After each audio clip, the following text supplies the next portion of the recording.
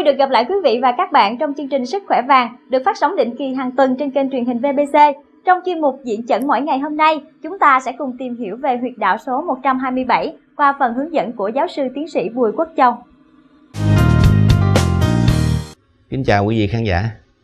Hôm nay trong cái chương trình diễn chẩn cho mọi người thì chúng tôi giới thiệu cái huyệt 127 là một huyệt rất là quan trọng ở trên mặt thì trước tiên chúng tôi xin giới thiệu với quý vị khán giả. Vì qua cái đồ hình đó, thì huyệt 127 nó nằm đây tức là trên cái đường cong cái này gọi là g cong u càm. Và ở giữa đó trên đường trục giữa tức là trục ô này nè trục giữa mặt thì chúng ta thấy cái 127 nằm đây. Bây giờ chúng ta qua mặt người thật. Thì chúng ta sẽ nhìn. Khi mà lấy quyệt á là bắt buộc phải nhìn thẳng cái mặt cái người bệnh nhân đó chứ mà nếu mình nhìn nghiêng về mình sẽ lấy trạch. Và chúng ta sẽ thấy có người thì cái ngấn này rất rõ nè. Có người thì không rõ nhưng mà chúng ta biết rồi chúng ta cứ để đường trục dưới mặt và chỗ cái ngấn ụ cảm đó. Nếu chúng ta có cái que dò quyệt này thì chúng ta sẽ tìm quyệt thường thường khi người ta bệnh đó, là cái chỗ này nó đau cái quyệt này nó đau đó làm nó thốn. Thì chúng ta dễ nhận biết lắm. Còn nếu bây giờ mình không có thì mình không có thì mình sẽ dùng cái móng tay này nè.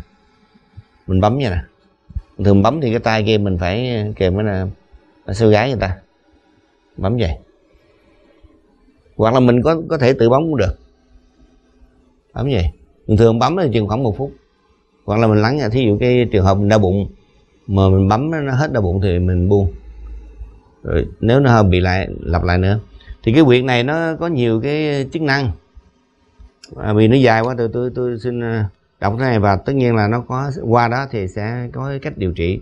Mình coi nó điều trị được cái bệnh gì.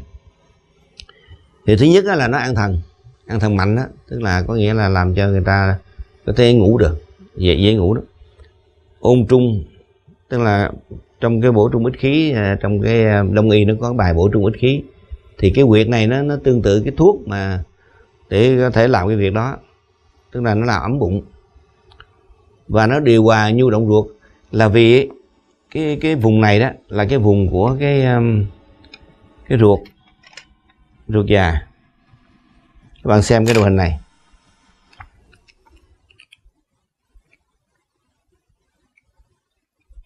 Đây. Chỗ khu vực này là khu vực của ruột, đây là cái miệng. Chung quanh nó là ruột. Thì cái quyệt này đó, quyệt 27 này là nó phản chiếu cái cái ruột non. Phản chiếu ruột non.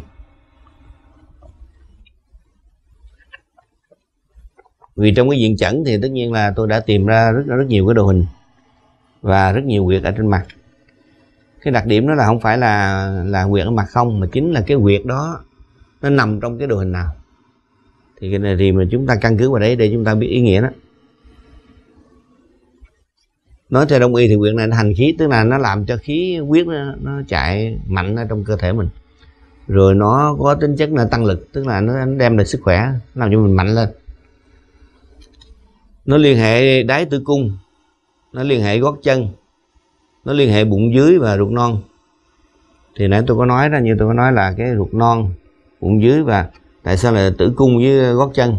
Thì theo cái đồ hình các bạn biết đây nè. Cái đồ hình này đó thì gót chân nó nằm ở chỗ u càm này nè. Đó, chúng ta thấy gì cái chúng ta thấy đồ hình. Và có một đồ hình mà mà không có vẽ ở đây là cái chỗ khu vực này nè xin lỗi khu vực này nè. Thế thì cái cái gờ công bù càm này nó phản chiếu cái đáy tư cung. Dạ, phản chiếu cái đáy tư cung. Do đó thì những cái bệnh có liên quan đến tư cung thì làm cũng được. Bây giờ tôi xin đọc sơ qua một cái tất nhiên tôi sẽ đọc chậm để ờ, khán giả có thể là nghe và ghi chép được. Thứ nhất là trị cái bệnh mất ngủ hay là khó ngủ. Thứ hai là đổ mồ hôi chân tay đó, thí dụ có người đổ mồ hôi, hay đổ mồ hôi chân tay lắm, thì nó cũng góp sức với một số việc khác, nó sẽ giải quyết cái bệnh đó. Thứ ba là suy nhược cơ thể.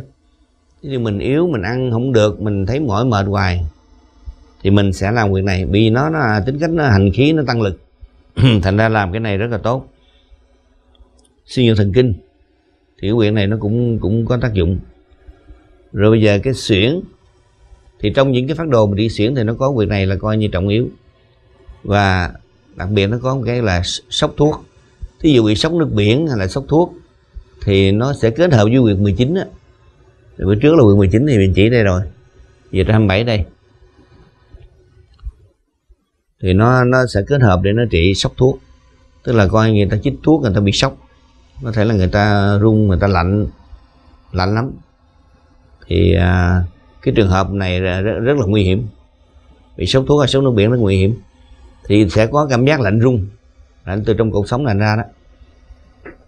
Và chỉ có cái huyệt 27 này nè thì nó mới giải quyết cái cơn lạnh rung từ trong ruột lạnh ra. Đó cái này là, là, là rất là hay vì nó làm ấm nó và người ta đánh bò cạp lúc bây giờ người ta lạnh lắm người ta sánh đánh bò cạp. Giống như mình bị lạnh quá mình rung thì chỉ có quyệt này nè 27 thì nó giải quyết cái cơn lạnh đánh bò cạp đó do sốc thuốc đó. Sốc thuốc hay sốc nước biển cũng vậy bởi vì cái quyệt à, 127 nó cũng phản chiếu cái à, cái quyệt khí hải của của châm cứu. Cho nên nó có thể trị xuyển được, bởi vì nó bỏ nó bổ khí. Nó cũng trị cái bệnh mà khó tiêu hay là đau thượng vị. Rồi nói chung là đau bụng hay là lạnh bụng, nó nó giải quyết bệnh đó. Và vì nó là liên hệ tới cái đáy tư cung, cho nên nó cũng trị cái bệnh à, huyết trắng hay là đau bụng kinh. Rồi trong những người mà nghiện ma túy nó lên cơn á người ta cũng lạnh bụng người ta yếu sức. Thì cái việc này nó cũng góp sức vào trong vấn đề là cắt cơn nghiện ma túy à, chữa chữa nghiện ma túy. Là thuốc lá.